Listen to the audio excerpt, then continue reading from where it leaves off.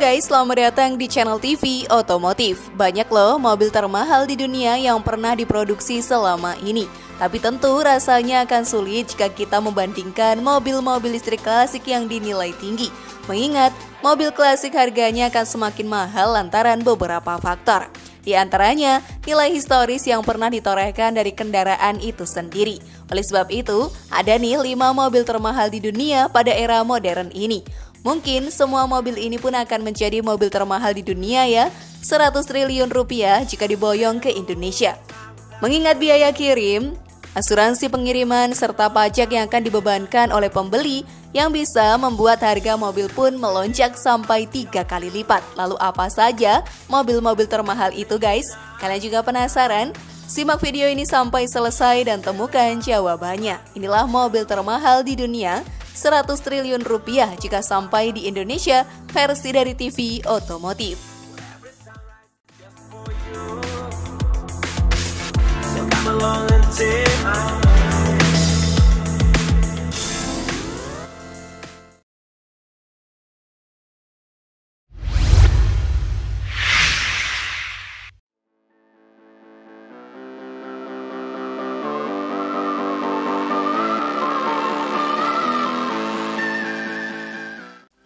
Bugatti Divo.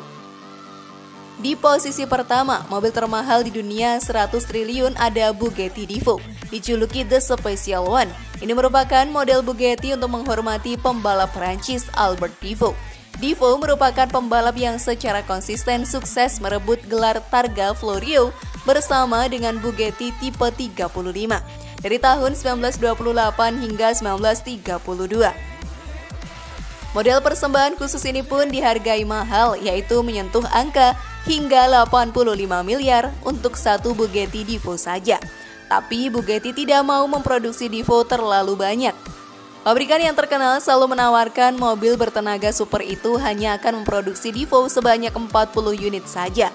Hebatnya lagi nih, Seluruh unit itu kini sudah ludes terjual. Mesin Bugatti Divo 2018 guys sejatinya mengusung unit mesin yang sama persis dengan Bugatti Siren yakni 8000cc W16 quad turbocharger dengan Bugatti Two Stage turbocharging and intercooling. Sayangnya dipadukan dengan transmisi 7 percepatan DSG dual clutch box sehingga kecepatan maksimal Divo lebih lambat 50 km per jam dibandingkan dengan Siren. Bugatti beralasan ini agar Divo lebih gesit ketika dibawa menikung dan lebih menyenangkan bagi pengemudinya. Hmm, sudah mewah nih, cepat, lalu kurang apa lagi sih guys? Kalian tertarik membelinya? Namun sebelum video semakin berlanjut, klik dulu tombol loncengnya ya biar kalian gak ketinggalan info baru dari channel ini.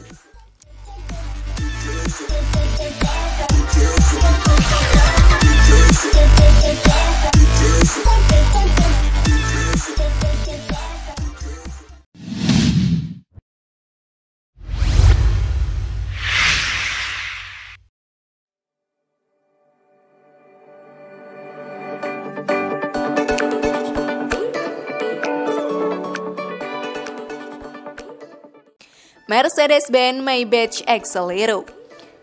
Maybach Motorenbau GmbH adalah perusahaan mobil mewah yang berasal dari Jerman. Didirikan pada tahun 1909 oleh Wilhelm Maybach bersama dengan anak laki-lakinya yang bernama Karl Maybach sebagai direktur. Lalu pada tahun 1960-an Daimler-Benz membeli perusahaan ini. Saat ini pun Maybach dimiliki oleh Daimler AG menjadi satu dengan Mercedes-Benz dan berpusat di Stuttgart, Jerman. Mercedes-Benz guys memiliki divisi mobil super mewah yakni Maybach. Kendaraan yang dihasilkan brand ini pun sebenarnya mengambil basis dari mobil-mobil Mercedes-Benz. Hanya saja disentuh ulang sehingga jauh lebih eksklusif dan tentunya juga jauh lebih mahal. Satu dari tipe Maybach termahal di muka bumi ini adalah Maybach Exelero. Harga mobil ini pun saat pertama kali dijual sekitar 113 miliar. Maybach Exelero adalah mobil sedan sport mewah berperforma tinggi yang dibuat oleh Stola yang sekarang adalah bagian dari Bluetech. Mereka bekerja sama dengan Daimler Chrysler untuk menghadirkan mobil satu ini. Maybach Exelero sendiri diresmikan dan diperkenalkan ke publik pada tahun 2006 bertempat di Tom Berlin. Pada awal kemunculannya, Maybach Accelero ditugaskan oleh Fulda untuk mengetes ban mereka. Fulda sendiri adalah anak perusahaan dari Goodyear Jerman yang memproduksi ban. Accelero adalah kendaraan kedua yang digunakan oleh Fluda untuk mempromosikan ban Fluda yang berkinerja tinggi. Mobil lain yang pertama digunakan oleh Fluda untuk ajang promosi adalah Gembala Extremo pada tahun 1996. Desain awal Maybach Accelero sendiri mengambil basis dari desain Maybach terdahulu, yaitu Maybach SW38 dan dibangun di atas platform Maybach 57. Fulda sendiri mengambil peranan penting loh dalam penciptaan dan desain mobil ini karena mobil ini pun harus dapat mencapai kecepatan lebih dari 350 km per jamnya atau sekitar 217 mph sehingga batas fisik dari ban fluda yang ada pada Maybach Accelero dapat diuji ketangguhannya. Desain akhir dari Maybach Accelero sendiri diproduksi oleh empat siswa dari Sekolah Desain Transportasi di Universitas Firmzane, Jerman. Walaupun dimensinya cukup bongsor nih, nyatanya mobil ini pun berkonfigurasi dua pintu. Mesinnya 12 silinder dengan teknologi biturbo yang mampu memproduksi tenaga hingga 700 HP. Maybach pun mengeklaim kalau kendaraan yang mereka bangun itu sanggup melesat sampai kecepatan 351 km per jam. Keren sekali bukan?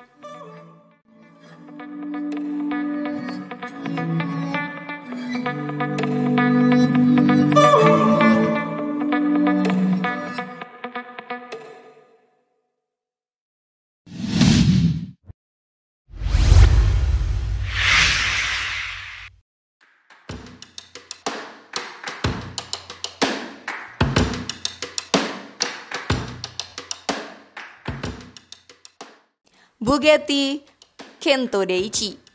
Beberapa waktu lalu guys, bintang sepak bola dari tim Juventus, Cristiano Ronaldo, baru saja membeli sebuah Bugatti Kento Deichi untuk merayakan kemenangan Juventus di Liga Serie A Italia. Tahukah kamu berapa harga hypercar Bugatti ini? Ternyata menyentuh 155 miliar rupiah. Mendebut saat gelaran Concourse di Elegance 2019, Kento Deichi terinspirasi dari Bugatti AB 110. Kento Deichi yang berarti 110 dalam bahasa Italia dihadirkan untuk memperingati ulang tahun ke-110 dari Bugatti. Namun Bugatti memberikan aura modern pada model yang juga masuk kategori 7 mobil sport termahal di dunia itu. Selain desainnya eksotis, dan tentunya harganya yang mahal, Bugatti Kento Deichi juga memiliki kekuatan yang dahsyat.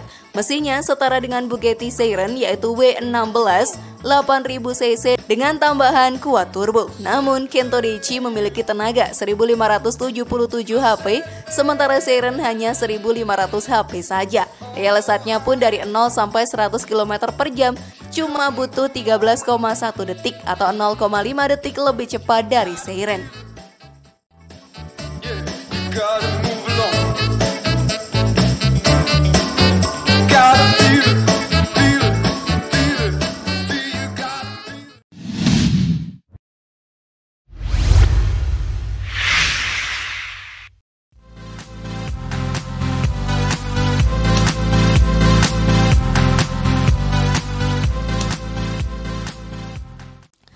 Rolls Royce Sweptail tidak ada yang pernah bisa mengelak kemewahannya jika Rolls Royce sudah membuat sebuah mobil.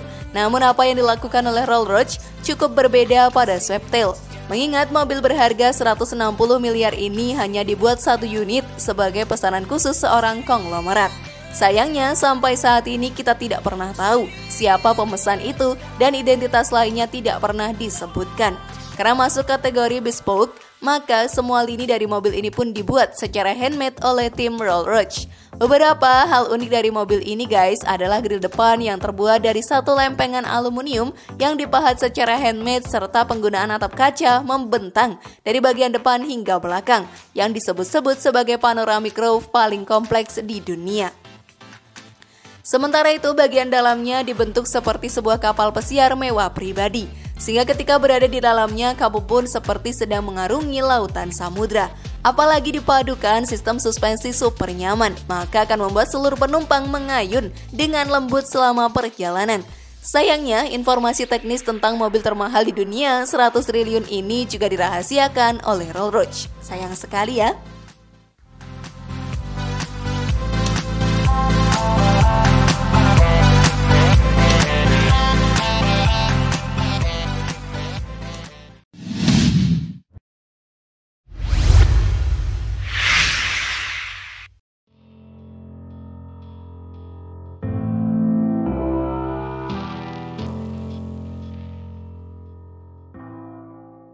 Bugatti La Voyager Selain membuat mobil-mobil kencang, Bugatti juga dikenal sebagai pembuat mobil ekstra mahal. Di posisi tertinggi, sebagai lima mobil termahal di dunia ada Bugatti La Voyager hanya dibuat satu unit saja. Mobil ini pun harganya dipatok mulai dari 177 miliar. Itu pun harga di Eropa dan belum termasuk pajak. Jadi bisa dibayangkan ya, berapa harga mobil ini jika dipesan oleh orang-orang Indonesia dan lantas dikirim ke tanah air. Pastinya bakal melambung selangit. Bugatti Lavoy Cerner 2019 guys adalah reinterpretasi modern dari tipe 57 SG Atlantic dan diproduksi pertama kali pada tahun 1930-an. Dan kabarnya nih, orang yang satu-satunya memiliki Bugatti ini adalah mantan bos Volkswagen Ferdinand Pitch. Ia tak lain merupakan sosok yang membawa Bugatti masuk ke dalam Volkswagen Group pada 1998. Mesin dari Lavoy Cerner menggunakan W16 quad turbocharged berkapasitas 8000 cc. Sebenarnya mesin ini sama dengan yang dipakai pada Bugatti Chiron. Akibatnya, kekuatan mobil ini juga ada di kisaran 1500 HP pada 6700 rpm dengan torsi puncak 1180 Nm di 6000 rpm. Kemampuan akselerasi dari 0 sampai 100 km per jam cuma butuh waktu 2,4 detik saja. Sementara kecepatan tertingginya ada di angka 418 km per jamnya.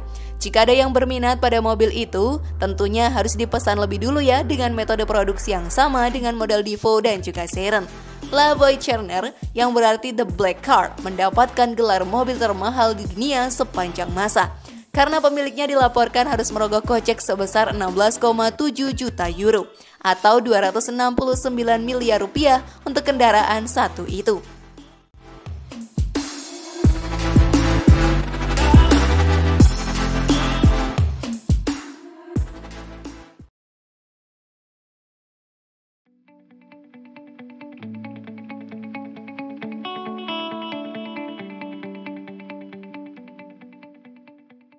Mobil-mobil mewah ini guys memang memasang harga selangit ya. Nah kalau dibawa ke Indonesia harganya pun akan semakin melejit. Tapi tentunya tak masalah bagi kaum sosialita. Mau bawa pulang satu guys? Share pendapat menarik kalian di kolom komentar ya. Terima kasih sudah menyaksikan channel kami. Mari bangun TV otomotif dengan cara klik tombol subscribe, like, share, dan aktifkan tombol loncengnya. Sampai jumpa di video berikutnya. Dan jangan lupa tonton video yang lainnya.